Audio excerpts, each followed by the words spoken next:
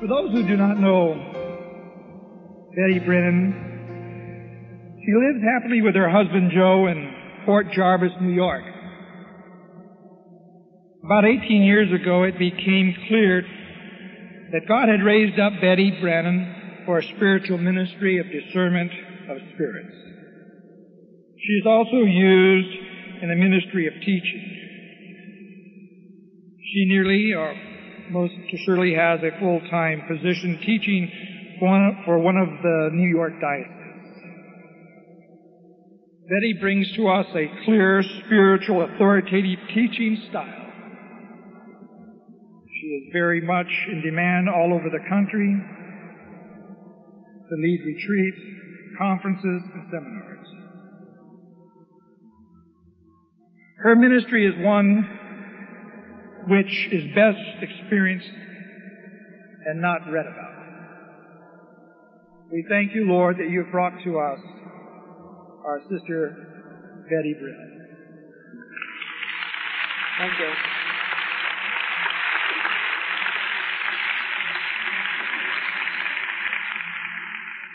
Before I start, I was just wondering if my daughter Maureen was here.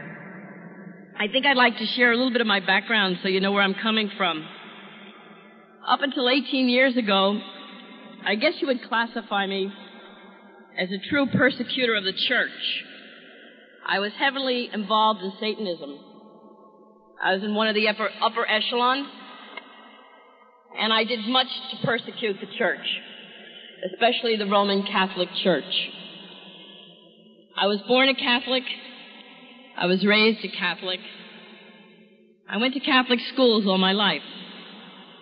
My dad died when I was about 12 years old, and my mother, unable to handle the pain and wanting to raise her children as good Catholics, decided to send both my brother and myself back to Europe.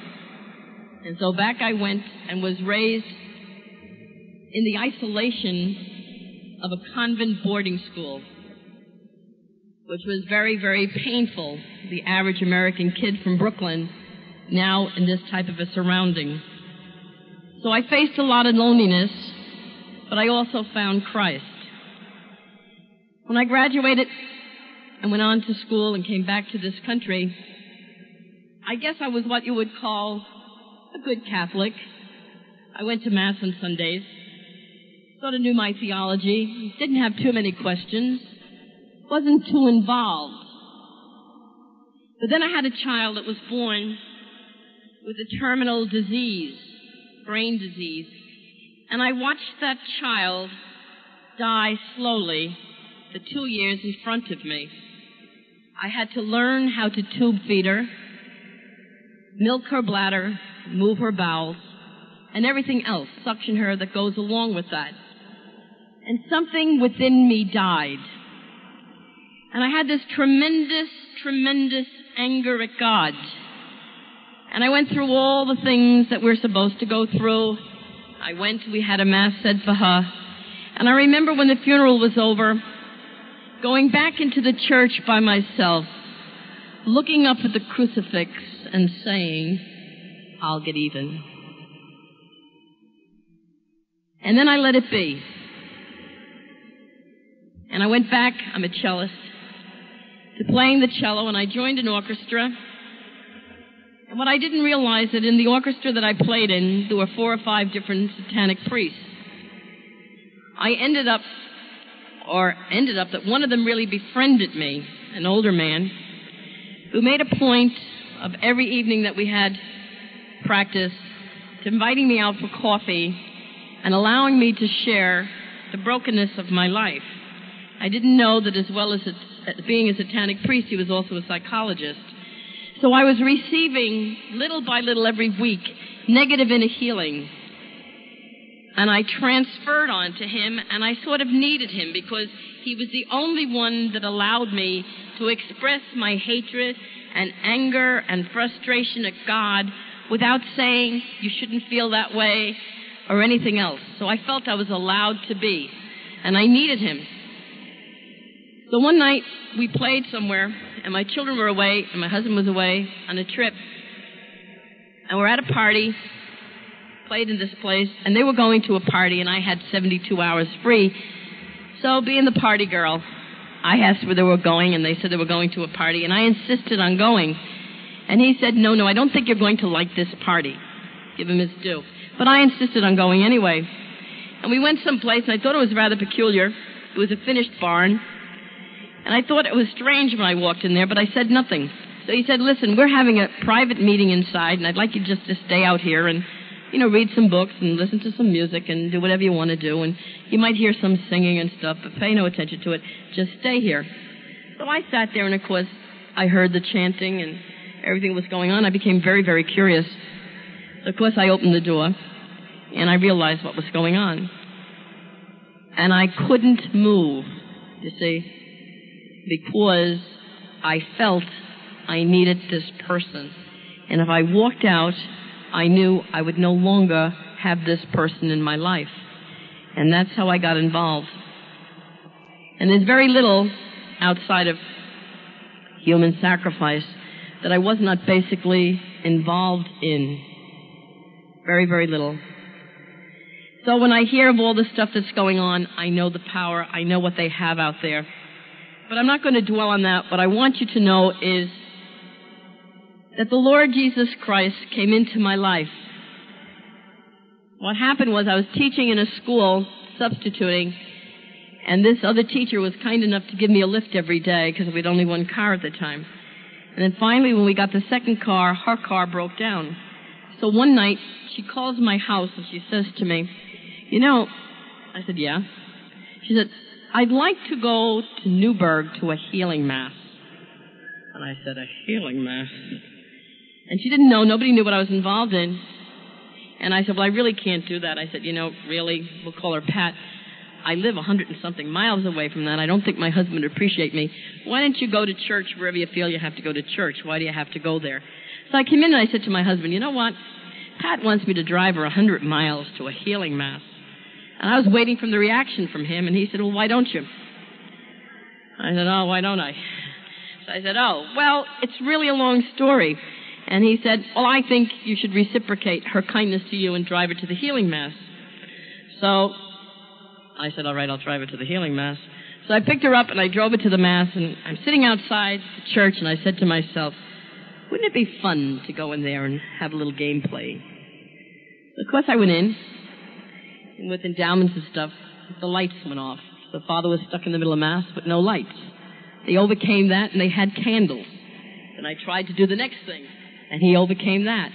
So it drove me nuts no matter what I did. So finally at the end of the Mass, I kind of left. I left before the consecration went outside. So it ended up that I had to take her back and forth to this place two or three times. So one day she said to me, you know, I go other times to this place and nothing happens, only when you're here. And I said, really, Pat? And she said, yeah. And you act very strange. I said, I do not. She said, yeah, you do. I said, how do I look strange? She said, you become terrified. You break out into a sweat. I think maybe I should be rushing for an ambulance. And you take off. And did you ever notice you stay at Mass for the beginning and then you take off? she said, do you go to Mass on Sunday? So of course I said yes, because you see what I would do at home is I would pretend that I had to get the children out and my husband out and everybody, and then I'd run down somewhere and get a bulletin from somebody and come back up and I'd been to Mass somewhere, see, and I would just I played the whole game. And it didn't really show because basically you're in upper echelon, that's the deceit. It really doesn't show. It's only the people that are in lower echelon that are on the drugs and the alcohol and have all the other problems that people look at. But it's the guys that are really behind the scene calling the shots that nobody seems to go after in the fourth, fifth, and sixth echelon, which are basically the people of society, your doctors, your lawyers, your physicians, your, your psychologists. These are the people that are shooting and calling the shots. So to make a long story short, that was my life. Then one day I decided I had to take her on a Sunday. It was the last time. And I stayed until again before the consecration of the Mass, and I said to myself, I gotta get out of here fast. And I ran out of the building. And as I was running out of the building and down the stairs, this Father Richard McAlear was coming up the stairs, and I really knocked him over, and he fell down three stairs. And he was furious with me. So he ran after me and almost literally was going to kill me, pinned me to the thing and asked me, did I not see him coming up the stairs? And he hurt himself and the whole bit, and I went through it. But he realized there was something else going on because I broke out into this sweat, and he says to me, Who are you? In the name of Jesus. And before you knew it, all this stuff came out, and the man wouldn't let go. And I meant I went from torment to torment, struggling and fighting. But he stuck by me. He was a very, very good man, and we work now as a team. The Lord just called us his team. We go around the world doing official exorcisms and whatever else the Lord calls us to. But I just want you to know that this is where I've come from. And this is who I've been. Absolutely the lowest of the low. The Lord Jesus Christ said, I'm going to raise her up. Because even though she ran away from me, she is my creation. I love her. She is precious. And she's mine. So I just had to make one slight movement towards him. And he came surging in. It wasn't an overnight conversion. The deliverance took almost a year and a half. It was going up to Eucharist, receiving Eucharist, sitting with Eucharist for 15 minutes and running outside a church quietly and losing the whole contents of my stomach. It was superior at the time became fearful and decided the only way that they would give me deliverance prayer is if I came on a Thursday afternoon and publicly came up for it. And the humility of that one day my husband came to Mass and he was waiting because he knew I was getting prayed over. And the woman, and he went to move into another pew and the woman beside him said, Oh, don't leave now. Wait till you see what happens. Wait till you see this woman that comes. Because I would levitate. I would lift up people. Whatever the story was. I don't really remember it too much anymore. And the woman said, I wonder what kind of a person she is. And my husband looks at her and said, She's a very fine person and I love her, and she's my wife. And they quite didn't know how to handle that. So the deliverance went on. And as the deliverance went on and I became freer, I began to see the truth and realize that it wasn't Jesus that I was really angry with, but I was dealing with the brokenness within my own heart and spirit and that had to be healed. I had to learn that I had to look at myself and be responsible for my own actions. I had to look at myself and realize that truth is truth. And regardless of the pain, I'm going to have to make choices. Maybe they're not choices that are going to fulfill me, but they're choices that are eventually going to bring me into the kingdom of God. I realized the value of life. I realized the value of my soul. I realized the value of the individual soul. I understood the meaning of the broken body of Christ. I understood what it was to call the sinner but to truly love them. To call the sinner in their sin, to state it, have them claim it, put it aside, and reach out to the brokenness and the need within them that caused this sin. You see, it wasn't that I came from a horrendous, horrible background and got involved in this. I came from a very good background because that I didn't have someone Christian to really love that would force me to open up, I moved away. I'm not blaming it on anyone. I'm just saying to myself, you see. That's why it's so important. But in this movement and what I was into, what I realized within that circle that really totally blew my mind, for the lack of a better word, was that these people knew the value of the sacraments. That impressed me. Every satanic ritual in higher echelon is a takeoff of the sacramental rite that's used within the Roman Catholic Church. And that is a powerful testimony because they know and they understand and they're terrified of the power within sacramental church. Can you hear that? And when the Lord basically took me out of this and made a new creation, and you realize He chooses the weak so that no flesh may glory. So when somebody says to me it's good, or this is good, or you have a great gift, it's just a gift. I know who I am, and I know my sin. And I know my God and my Lord. And even though it's wonderful to hear that on a human level, it's more important that I stay in union with Him. It's more important that I just look at a gift that is just a gift. It's more important that I immerse myself in church.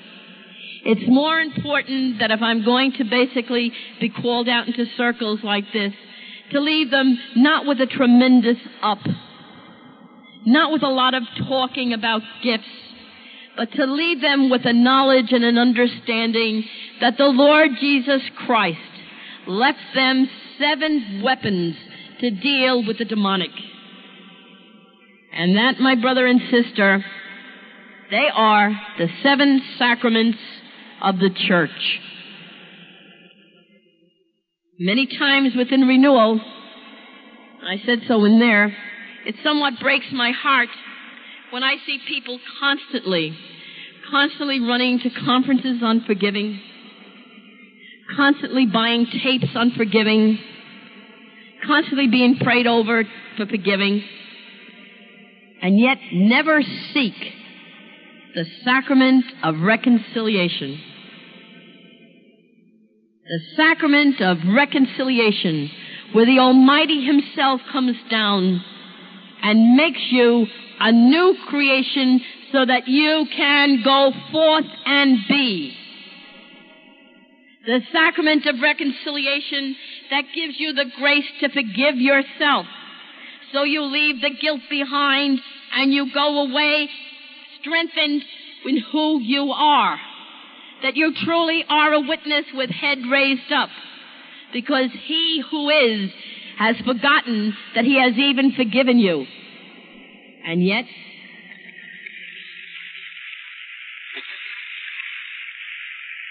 and yet, my brothers and sisters, we do not frequent that sacrament. Do we? We don't even teach it in the Life in the Spirit seminar. And it's a main tool against Satan. The main tool. Because Satan knows that when you go to the sacrament of reconciliation, you have stepped into the kingdom of light. A light that was given by the Almighty Father. And He can't touch you. He doesn't care if you go to many tapes and listen. If you don't go to the sacrament, he doesn't care. And then the biggest one of all. Do you realize, my brothers and sisters, the Eucharist? If we had a bona fide witch here, and we had 2,000 hosts, and only one consecrated, if it was a bona fide witch, they would know immediately, out of that 2,000 hosts, which one was consecrated. And yet, how many of us go to daily Eucharist? How many? How many of you realize that the Eucharist is not symbolic, but it is truly the body, blood, and soul and divinity of the Lord Jesus Christ?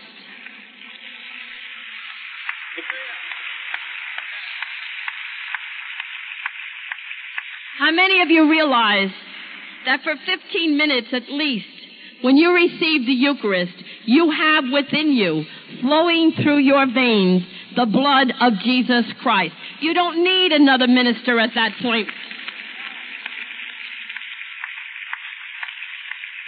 The blood of Jesus Christ is now mixing with your blood and it's one. Just say, Lord, as you flow through me, touch the brokenness, the physical ailment within me. Heal me. Lord, as your blood flows through my veins, cleanse my family line from any hex, curse, and spell. And my brothers and sisters in Jesus, it's that simple.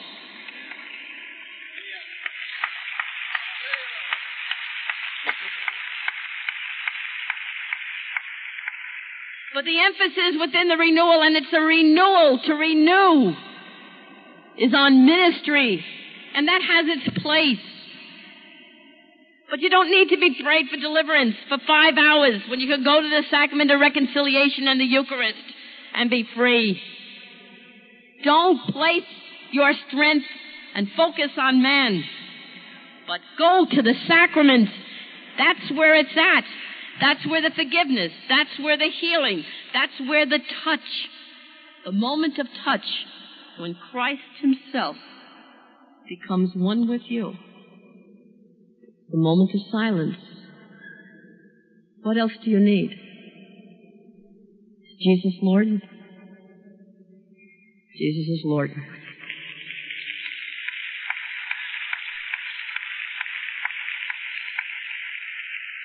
And now the sacrament of marriage. Sacramental grace. Talking to people in the renewal throughout the country, I'm amazed that people do not know what grace is. And yet, there's very few Satan worshippers that do not know what grace is. I struggle with that.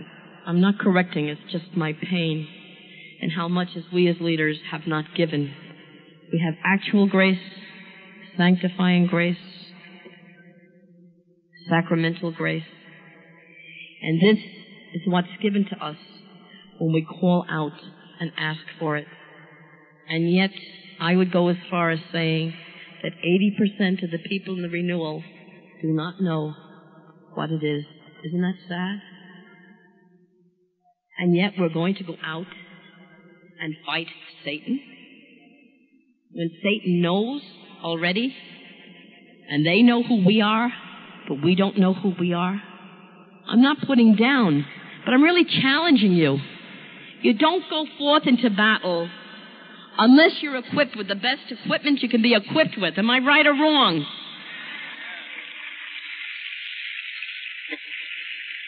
So you don't go out without the sacraments behind you, do you? No. There's nothing there to fall back on. And people say I go out, but you can go out with the Word of God. But if you truly knew the Word of God, it would bring you to the Word in flesh, wouldn't it? Because the Word of God, which is beautiful, leads us to the Word in flesh, which is Eucharist. We are called, my brothers and sisters in Christ, not so much to have extraordinary gifts, but to see the extraordinary in the ordinary. You know what it's like when I sit sometimes at Mass and I watch people at a healing Mass going up to Eucharist and they're receiving the author, the giver of life, their healer, their brother, their Lord. And they walk right by it because they're waiting to get prayed over by Betty Brennan or Father McAlear. I was in the cathedral once, and I watched this happening, and I looked at the Lord, and I said, Forgive them, for they know not what they do. And I stood up and I said, I'm really sorry. But I have come from the pits, and I cannot allow you to make me a Messiah. I will not lay hands on you or pray with you because you have not allowed yourself to receive, nor have you recognized Jesus Christ. And therefore, you're not making an idol out of me. That was a hard word to say, and I really shook when I said it. But do we not do that, all of us? I'm not saying that being prayed over a ministry by people with gifts is wrong. I want you to hear that but you have to put it in its right order. If you go to a healing mass, The moment of healing is when you receive the Lord Jesus Christ. And when you come up later, the person just gives you the touch, but the healing has already taken place. So what I'm saying is, you see, when we don't know this, we're always looking for a healing mass. So what happens is, again, even though we're in the renewal, we do not see the Spirit within the sacrament. So we don't put an ordinary, what we would call, because it's the same as a healing mass. But it is, isn't it? It is. Every Eucharist is a healing Eucharist.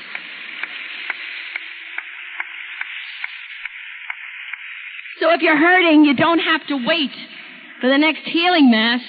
Pick yourself up and go to your local church. And don't tell me the priest is not spirit filled. Please. My answer to that is put your hand over the bread and wine and see what happens. Don't you tell me because he's not emotionally manifesting something that he is not spirit filled. That's judgment. And the Lord says what? Judge not. And yet we judge. Who are you to say who's spirit filled? Who are you to say that? I'm going to ask yourself some questions because I was told to challenge today. Okay? Is Jesus your Lord? Do you have a personal relationship with Jesus Christ? Do you know the Ten Commandments? Do you know the precepts of the Roman Catholic Church? Do you know the magisterium of the Roman Catholic Church? Ah. Ah. The magisterium is the teaching body of the Roman Catholic Church. All that's taught from that is approved. That's the best way to put it. And you have to know that because it's a very strange age. And you have to know what the teachings of the church so that if one of the shepherds go astray, you can challenge them. If you don't know it, you'll just go astray with them. I'm not going to say we have bad shepherds. We might have uninformed shepherds or shepherds basically at times that are broken. So they're going to tell you what you want to hear rather than what the value system is because it's too heavy and they have a need to be liked and loved like all of us. I'm in no way attacking priesthood. I want you to have that clear. I'm talking to anybody that's in a leading position.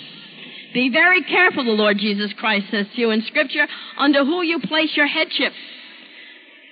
Place yourself under for headship. So now, we're going to learn, right?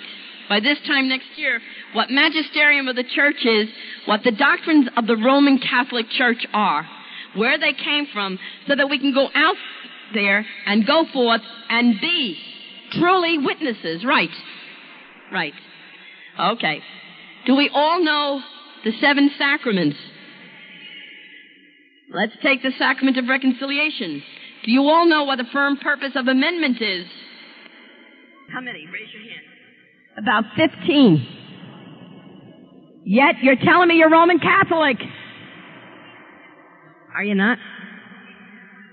I'm not, I hope you know I, I ask forgiveness. It's not put down, okay? But I'm really trying to challenge you. I'm challenging you to go forth, but you can't go forth unless you are who you are. And if you don't know the Ten Commandments and the value system, if you don't know the precepts of the church, and if you don't know the infallibility of the papacy, then you're not Roman Catholic. You're not practicing to the best of your ability. Wake up!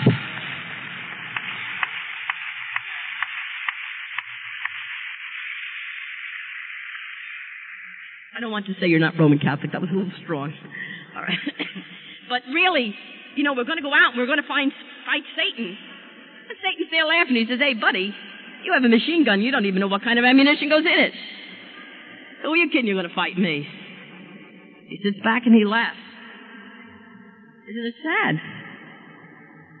Yet, yet, we'll go to teachings, and I give them throughout the world.